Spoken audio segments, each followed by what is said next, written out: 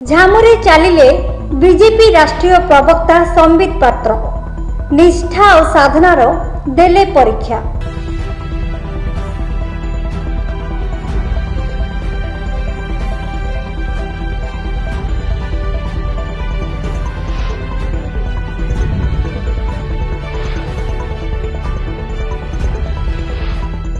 ଆପଣ ଦେଖୁଛନ୍ତି ଆମ ଟିଭି